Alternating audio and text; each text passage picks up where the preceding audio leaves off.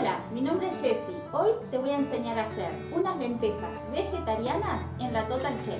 Seguime y te muestro.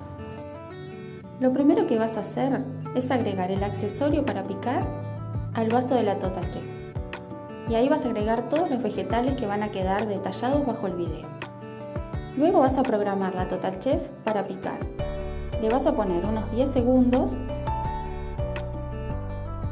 en velocidad e intensidad 10 o la que creas conveniente según el tamaño que quieras tus vegetales.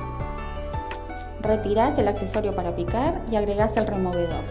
Con la espátula que te viene en el Total Chef, vas a bajar todos los vegetales, le vas a sumar aceite y vas a programar la Total Chef para sofreír. Sí, aunque no lo creas, la Total Chef también sofríe. Le vas a poner 5 minutos vas a programar la temperatura a 100 grados y vas a dejar en velocidad 1 porque no necesitamos que se mueva mucho.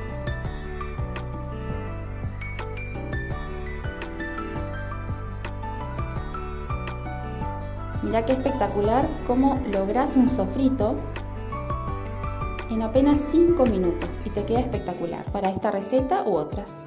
Ahora vas a sazonar a gusto. Sal, pimienta, yo le agregué un poquito de pimentón, laurel, albahaca u orégano y le vas a agregar las lentejas, que también las puedes dejar en remojo unas horas antes. Pulpa de tomate y extracto de tomate, agua, cerras la Total Chef y ahora la vamos a programar para una cocción de 50 minutos. Le programas la temperatura, 110 grados, velocidad 1 porque no necesitamos que se mueva demasiado. Mira qué espectacular como hierve la cazuela en la Total Chef, es impresionante. Cuidado cuando destapas la cazuela, cuando destapas la olla. Acá le puedes agregar zapallo, papas, boñato, zanahoria en cubitos, lo que quieras. Ahora vas a programar 10 minutos y esto depende del corte de las verduras que agregues.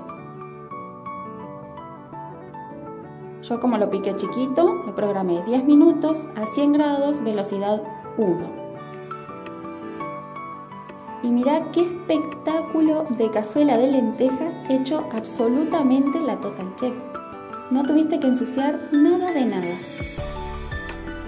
Espectacular comida casera, calentita, ideal para este clima que se viene.